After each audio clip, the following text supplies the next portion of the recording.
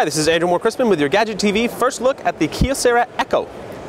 Now we can see here, it looks pretty much like a standard candy bar phone, but it has a little bit of a difference. We can see here running a stock uh, 2.2 Android.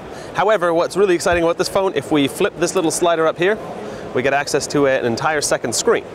Now that's, uh, that's obviously useful for um, expanding your real estate, but they've done some interesting things with actually using this new screen real estate. So if we were to open an email, I'm not sure if there's an email account set up on this one, Let's see here. Okay, there's no uh, no account here, but we'll go into uh, web browser. That way, we can actually see the uh, one of the one of my favorite uses of this um, of this split screen technology is we actually have a full QWERTY keyboard now on the bottom.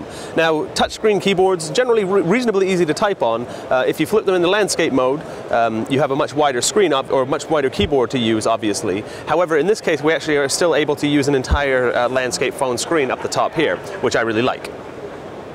We'll go home. Now, another uh, obvious application for this is in gaming. So if we uh, go into the applications here, now you can see that scrolling happens pretty seamlessly between the two screens.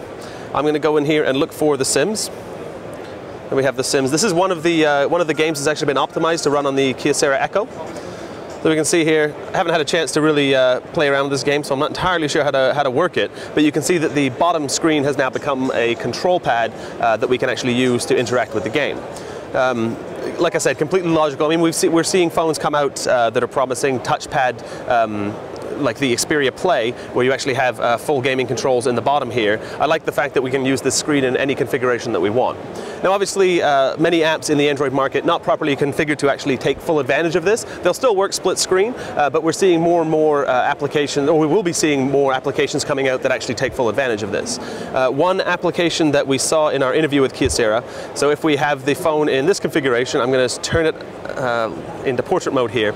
If we tap two fingers on the screen, we actually get a multitasking option. So we can actually have our web browser running on the left and, uh, for example, open up an email or find our contacts here, have independent um, browsing on the left, and we can be using our address book or our email or anything like that in the right hand screen here. So multitasking on smartphones, uh, even if your smartphone's capable of multitasking, generally not the easiest thing in the world to do given that you have to switch between multiple different applications. In this case, I really like this idea where we can actually have our web browser here, have our contacts here or our email or what have you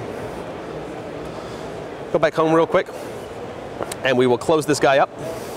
Now this is running a one gigahertz Snapdragon processor.